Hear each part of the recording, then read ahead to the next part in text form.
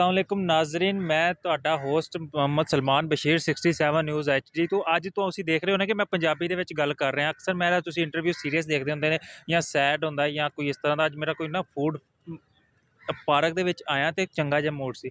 ਲੇਕਿਨ ਮੈਂ ਇੱਥੇ ਆ ਕੇ ਦੇਖਿਆ, ਇੱਕ ਸੈਲਫੀ ਮਾਸਟਰ ਦੇ ਨਾਂ ਤੋਂ ਨਾ ਬੜਾ ਹੀ ਮਸ਼ਹੂਰ ਹੋ ਰਿਹਾ ਬੰਦਾ। ਤੇ ਉਹ ਕੌਣ ਹੈ, ਕਿੱਥੋਂ ਦਾ ਹੈਗਾ ਤੇ ਕੀ ਹਿਸਾਬ ਕਿਤਾਬ ਹੈ ਤੇ ਉਹ ਸੈਲਫੀ ਮਾਸਟਰ ਬਣਿਆ ਕਿਸ ਤਰ੍ਹਾਂ ਉਹਦੀਆਂ ਅਸੀਂ ਸੈਲਫੀਆਂ ਦੇਖੀਆਂ ਉਹਦੀ ਪ੍ਰੋਫਾਈਲ ਦੇ ਵਿੱਚ ਜਦੋਂ ਅਸੀਂ ਗਏ ਐਮਪੀਏ ਐਮਐਨਏ ਤੇ ਬੜੀ ਦੂਰ ਦੀ ਗੱਲ ਹੈ, ਕੋਈ IG Punjab IG minister Imran Khan, Nawaz Sharif Maryam Nawaz, Bilawal Bhutto, Asif Ali Zardari Benazir Bhutto ਕੋਈ ਐਕਟਰ ਡਾਇਰੈਕਟਰ ਕੁਝ ਵੀ ਨਹੀਂ। ਮਤਲਬ ਕਿ ਹਰ ਬੰਦੇ ਨਾਲ ਉਹਦੀ ਸੈਲਫੀ ਹਰ ਇੱਕ ਦੇ ਨਾਲ ਉਹਦੀ ਸੈਲਫੀ ਵੱਡੇ ਵੱਡੇ ਸਟਾਰ ਦੇ ਨਾਲ ਉਹਦੀ ਸੈਲਫੀ ਤੇ ਜਿਹੜੇ ਵੱਡੇ ਵੱਡੇ ਸਟਾਰਸ ਆ ਉਹ ਇਸ ਤਰ੍ਹਾਂ ਹੱਸ ਕੇ ਉਹਦੇ ਨਾਲ ਸੈਲਫੀ ਬਣਾ ਰਹੇ ਨੇ ਕਿ ਜਿਸ ਤਰ੍ਹਾਂ ਉਹਦੇ ਬਹੁਤ ਕਰੀਬੀ ਦੋਸਤ ਹੈ ਉਹਦੇ ਯਾਰ ਬੇਲੀ ਹੈ ਇਸ ਤਰ੍ਹਾਂ ਉਹਦੇ ਨਾਲ ਸੈਲਫੀਆਂ ਲੈ ਰਹੇ ਨੇ। ਮੈਂ ਉਹ ਦੇਖੇ ਤੇ ਉਹ ਹਾਲੇ ਵੀ ਜਿਹੜਾ ਨਾ ਸੈਲਫੀ ਕਿਸਮ ਦੀ ਲੈ ਰਹੇ ਨੇ ਇੱਕ ਕਿਸਮ ਦੀ ਸੈਲਫੀ ਲੈ ਰਹੇ ਉਹਦੇ ਨਾਲ ਗੱਲਬਾਤ ਕਰਦੇ ਆ। ਆਜੋ ਜ਼ਰਾ। ਅਸਲਾਮ ਅਲੈਕਮ ਜੀ। ਵਾਲੇਕਮ ਸਲਾਮ ਕੀ ਹਾਲ ਹੈ ਜੀ?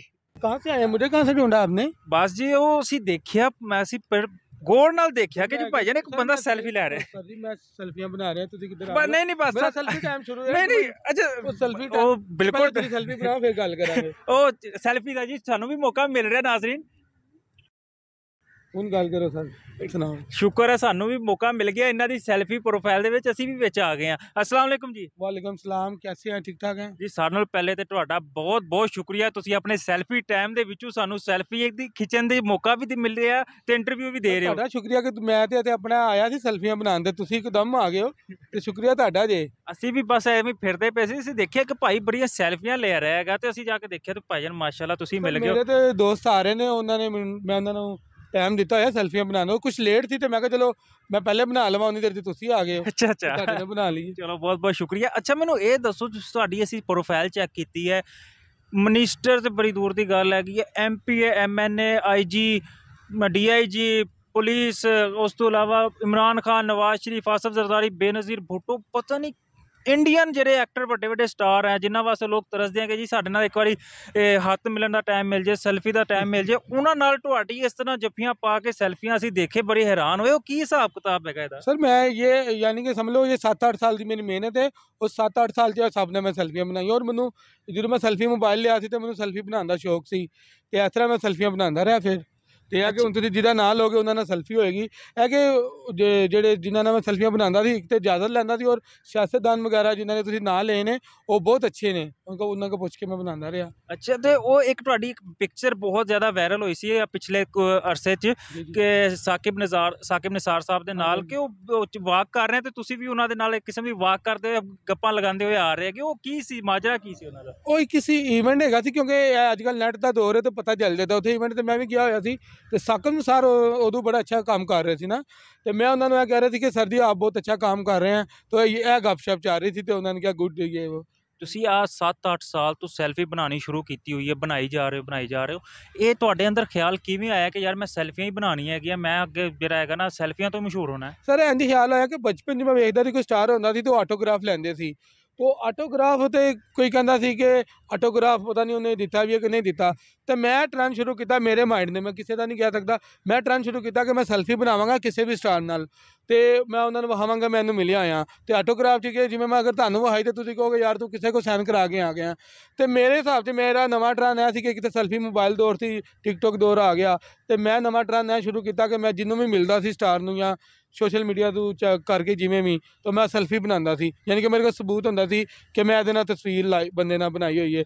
ਤੇ ਮੈਂ ਜਿਹਦੇ ਨਾਲ ਵੀ ਬਣਾਈ, ਫਿਰ ਉਸ ਤੋਂ ਬਾਅਦ ਮੇਰੀ ਵਾਇਰਲ ਹੋਈ, ਮੈਨੂੰ ਅੱਲਾਹ ਤਾਲਾ ਨੇ ਇੱਜ਼ਤ ਦਿੱਤੀ, ਦੋਸਤ ਪਛਾਣਨ ਲੱਗ ਪਏ ਰੋਡ ਤੇ ਇੰਜ ਹਰ ਕੋਈ ਐਫੀਸ਼ੀਏਟ ਕਰਨ ਲੱਗ ਪਿਆ, ਤੂੰ ਇਹਨੂੰ ਮਿਲਿਆ, ਤੂੰ ਇਮਰਾਨ ਖਾਨ ਸਾਹਿਬ ਨੂੰ ਮਿਲਿਆ, ਬਲਾਵਲ ਸਾਹਿਬ ਨੂੰ ਮਿਲਿਆ ਮਰੀਮ ਨਵਾਜ਼ ਸਾਹਿਬਾਂ ਨੂੰ ਮਿਲਿਆ। ਜੇ- ਯਾਨੀ ਕਿ ਤੁਸੀਂ ਜਿਨ੍ਹਾਂ ਦਾ ਨਾਂ ਲਓਗੇ ਨਾ, ਸਿਆਸਤਦਾਨ ਜਿਹੜੇ ਸਾਡੇ ਪਾਕਿਸਤਾਨੀ ਨੇ, ਉਹ ਪਾਕਿਸਤਾਨ ਤੋਂ ਬਾਹਰ ਵੀ, ਦੋ ਚਾਰ ਨੇ ਤੁਸੀਂ ਨਾਂ ਲਓਗੇ ਉਹਨਾਂ ਨਾਲ ਮੇਰੀ ਸੈਲਫੀ ਹੋਏਗੀ। ਨਵਾਜ਼ ਸ਼ਰੀਫ। ਨਵਾਜ਼ ਸ਼ਰੀਫ ਸਾਹਿਬ ਨਾਲ ਹੈਗੀ ਹੈ ਸ਼ਬਾਜ਼ ਸ਼ਰੀਫ ਸ਼ਬਾਜ਼ ਸ਼ਰੀਫ ਸਾਹਿਬ ਨੇ ਮਰੀਮ ਇਮਰਾਨ ਇਮਰਾਨ ਸਾਹਿਬਾਂ ਨੇ ਇਮਰਾਨ ਖਾਨ ਨੇ ਸ਼ਾਦ ਖਾਨ ਬਾਸੀ ਹੈ ਯੂਸਰ ਰਜ਼ਾ ਗਲਾਨੀ ਹੈ ਰਾਜਾ ਪਰੇਜ ਅਸ਼ਰਫ ਹੈ ਉਸ ਤੋਂ ਇਲਾਵਾ ਵੀ ਇੰਨੀਆਂ ਕਿ ਸੈਲਫੀਆਂ ਨੇ ਕੁਝ ਮੈਂ ਵੀ ਭੁੱਲ ਗਿਆ ਤੁਸੀਂ ਦੱਸੋਗੇ ਤਾਂ ਮੈਨੂੰ ਨਾਜ਼ਰੀਨ ਮੇਰੀ ਗਰਦਨ ਆਕੜ ਜਾਣੀ ਹੈ ਕਿ ਸੈਲਫੀਆਂ ਦੇ ਨਾਮ ਹਾਂ, ਇੱਕ ਜਿਸ ਤਰ੍ਹਾਂ ਖਿਲਾੜੀ ਨੇ ਖਿਲਾੜੀਆਂ ਦਾ ਸ਼ੋਭੀ ਦਾ ਨਾਂ ਲਓਗੇ ਜਿੰਨਾ ਮੈਂ ਵੀ ਤੁਸੀਂ ਨਾਂ ਲਓਗੇ ਕਿਉਂਕਿ ਮੈਨੂੰ ਸੈਲਫੀ ਦਾ ਸ਼ੌਕ ਸੀ, ਮੈਂ ਦੋਸਤਾਂ ਕੋ ਪੁੱਛ ਕੇ ਚਲੇ ਜਾਂਦਾ ਵਾਂ, ਤੇ ਐਸਾ ਸੈਲਫੀਆਂ ਬਣਾ ਦਿੰਦਾ ਸੀ, ਤੇ ਇਹ 7-8 ਸਾਲ ਦੀ ਬਣੀਆਂ ਜੇ। ਨਾਜ਼ਰੀਨ, ਨਾਮ ਮੈਨੂੰ ਵੀ ਨਹੀਂ ਇੰਨੇ ਯਾਦ ਹੋਣੇ, ਜਿੰਨੇ ਇਹਨਾਂ ਦੇ ਕੋਲ ਸੈਲਫੀਆਂ ਹੈਗੀਆਂ। 10000 ਇੱਕ ਅਮਾਉਂਟ ਹੈਗੀ ਕਿ ਉਹ ਵੀ ਵੱਡੇ ਵੱਡੇ ਸਟਾਰਾਂ ਦੇ ਨਾਲ, ਵੱਡੇ ਵੱਡੇ ਲੋਕਾਂ ਦੇ ਨਾਲ ਸੈਲਫੀਆਂ ਤੇ ਇਹ ਬਹੁਤ ਵੱਡੀ ਗੱਲ ਹੈ, ਬਹੁਤ ਵੱਡਾ ਨਾਮ ਹੈਗਾ ਕਿ ਇੱਕ 7-8 ਸਾਲ ਤੋਂ ਬੰਦਾ ਜਿਹੜਾ ਨਾ ਸੈਲਫੀਆਂ ਖਿੱਚ ਰਿਹਾ, ਉਹ ਵੀ ਵੱਡੇ ਵੱਡੇ ਸਟਾਰਾਂ ਨਾਲ। ਹੁਣ ਮੈਨੂੰ ਇਹ ਦੱਸੋ, ਮੇਰੇ ਵੀ ਦਿਲ 'ਚ ਵੀ ਬੜੀ ਇੱਕ ਗੱਲ ਪੈਦਾ ਹੋ ਰਹੀ ਹੈਗੀ ਆ, ਉਹ ਸਾਡੇ ਨਾਜ਼ਰੀਨ ਉਹ ਵੀ ਇਹ ਗੱਲ ਸੋਚਦੇ ਹੋਣੇ ਆ ਕਿ ਤੁਸੀਂ ਆਹ ਕਿਵੇਂ ਕਰ ਲੈਂਦੇ ਹੋ? ਮਤਲਬ ਕਿ ਐਡੇ ਵੱਡੇ ਵੱਡੇ ਸਟਾਰ ਕੋਈ ਇਸਲਾਮਾਬਾਦ ਹੈ, ਕੋਈ ਇੰਡੀਆ 'ਚ, ਕੋਈ ਕਿੱਥੇ ਹੈਗਾ, ਕੋਈ ਪਤਾ ਨਹੀਂ ਕਿਹੜੀ ਕਿਹੜੀ ਜਗ੍ਹਾ ਤੇ ਹੁੰਦਾ ਹੈਗਾ, ਤੇ ਤੁਸੀਂ ਉਹਨਾਂ ਕੋਲ ਪਹੁੰਚਦੇ ਕਿਵੇਂ ਹੋ? ਉਹਨਾਂ ਦੇ ਕੋਲ ਜਾਂਦੇ ਕਿਵੇਂ ਤੁਹਾਨੂੰ ਕਿਵੇਂ ਪਤਾ ਲੱਗਦਾ ਕਿ ਜੀ ਉਹ ਬੰਦਾ ਉੱਥੇ ਆਇਆ ਤੇ ਉਸ ਬੰਦੇ ਨਾਲ ਫਿਰ ਤੁਸੀਂ ਉਹ ਅਗਲਾ ਬੰਦਾ ਐਡਾ ਹੱਸ ਕੇ ਤੁਹਾਡੇ ਨਾਲ ਸੈਲਫੀ ਵੀ ਬਣਾਉਂਦਾ ਹੈਗਾ, ਉਹ ਕੀ ਮਾਜਰਾ ਕੀ ਸਾਰਾ? ਸਰ, ਇਹ ਮਾਜਰਾ ਹੈਗਾ ਕਿ ਮੈਂ ਅਸਲ 'ਚ ਜ਼ਾਤ ਉਮੀਦਵਾਰ ਮੈਂ ਜੇ ਕਿਸੇ ਵੀ ਪਾਰਟੀ ਦਾ ਕੋਈ ਜਲਸਾ ਜਾਂ ਪਾਰਟੀ ਮੀਟਿੰਗ ਹੁੰਦੀ ਹੈ ਨਾ, ਤੇ ਮੈਂ ਉੱਥੇ ਚਲੇ ਜਾਂਦਾ ਮੈਂ ਅਗਰ ਮੈਂ ਪੀਪਲ ਪਾਰਟੀ ਦਾ ਇਵੈਂਟ ਉੱਥੇ ਚਲੇ ਗਿਆ ਉਹਨਾਂ ਨੇ ਕਿਹਾ ਸਾਡਾ ਕਾਰਕੁਨ ਆ ਗਿਆ ਅਮਿਤ ਸੈਲਫੀ ਆ ਗਿਆ। ਅਗਰ ਅਮਰ ਸੈਲਫੀ ਮਸ਼ਹੂਰ ਹੈ। ਉਹ ਪੀਟੀਆਈ ਦੀ ਚਲੇ ਗਿਆ ਤੇ ਉਹ ਸਮਝਦੇ ਨੇ ਮੈਂ ਉਹਨਾਂ ਦਾ ਕਾਰਕੁਨ ਆ। ਇਸ ਤਰ੍ਹਾਂ ਕਾਰਕੁਨ ਬਣ ਕੇ ਮਿਹਨਤ ਕੀਤੀ ਯਾਨੀ ਕਿ ਇੱਕਦਮ ਹੀ ਮੈਂ ਇਮਰਾਨ ਖਾਨ ਸਾਹਿਬ ਕੋ ਪਹੁੰਚ ਗਿਆ ਜਾਂ ਬਿਲਾਵਲ ਸਾਹਿਬ ਕੋ ਮੈਂ ਇੱਕ ਬੜੀ ਮਿਹਨਤ ਕਰਕੇ ਕੋਈ ਦੋ ਦੋ ਸਾਲ ਲੱਗੇ ਸਾਲ ਸਾਲ ਲੱਗਾ। ਫਿਰ ਮੈਂ ਇਹ ਥੱਲੂ ਉੱਤੇ ਆਇਆ ਤਰਲਾ ਮਿੰਟ ਕੀਤਾ ਦੋਸਤਾਂ ਨੂੰ ਕਿਹਾ ਕਿ ਮੇਰੀ ਵੀ ਸੈਲਫੀ ਬਣਾਓ। ਇਸ ਤਰ੍ਹਾਂ ਮੈਂ ਬਣਾਈ ਹੈ ਸੈਲਫੀ। ਅੱਛਾ ਤੇ ਮੈਨੂੰ ਇਹ ਦੱਸੋ ਕਿ ਤੁਹਾਨੂੰ ਹੁਣ ਬਿਲਾਵਲ ਭੁੱਟੋ ਜੇ ਸਾਹਿਬ ਜਿਹੜੇ ਉਹ ਜਾਣਦੇ ਹੈ ਕਿ ਪਹਿਚਾਨਦੇ ਹੈਗੇ ਕਿ ਜਿਸ ਟਾਈਮ ਤੁਸੀਂ ਉਹਨਾਂ ਦੇ ਸਾਹਮਣੇ ਜਾਓ? ਹਾਂ ਇਨਸ਼ਾਅੱਲਾ ਬਲਾਵਲ ਭੁੱਟੋ ਸਾਹਿਬ ਕਿਤੇ ਦੁਨੀਆ ਫੈਨ ਹੈ ਲੇਕਿਨ ਜਦੋਂ ਮੈਨੂੰ ਉਮੀਦ ਹੈਗੀ ਹੈ 100 ਤੋਂ 80% ਕਿ ਮੈਨੂੰ ਪਛਾਣ ਲੈਣਗੇ, ਕਿਉਂਕਿ 7 ਤੋਂ 8 ਮੁਲਾਕਾਤਾਂ ਉਹਨਾਂ ਨਾਲ ਮੇਰੀਆਂ ਹੈਗੀਆਂ ਨੇ। ਅਗਰ ਨਹੀਂ ਵੀ ਪਛਾਣਗੇ ਤੇ ਹਲਕਾ ਜਿਹਾ ਮੈਨੂੰ ਕਹਿਣਾ ਪਏਗਾ ਕਿ ਬਲਾਵਲ ਸਾਹਿਬ ਉਹ ਸੈਲਫੀ ਸੈਲਫੀ ਦਾ ਨਾਂ ਲੈਣਗੇ ਤੇ ਉਹਨਾਂ ਨੇ ਕਹਿਣਾ ਗੁੱਡ ਹੈ ਤੇ ਉਹੀ ਹੈਗਾ ਸੈਲਫੀ ਮੈਨ।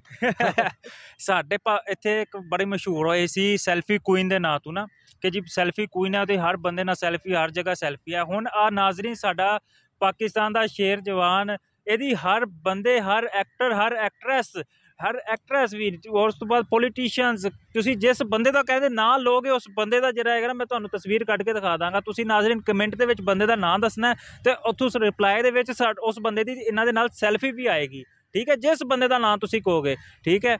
ਤੇ ਨਾਜ਼ਰੀਨ, ਹੁਣ ਮੈਨੂੰ ਇਜਾਜ਼ਤ ਦਿਵੋ ਤੇ ਮਿਲਦੇ ਹਾਂ ਅਸੀਂ ਅਗਲੀ ਵੀਡੀਓ ਦੇ ਵਿੱਚ। ਅੱਲਾ ਹਾਫਿਜ਼।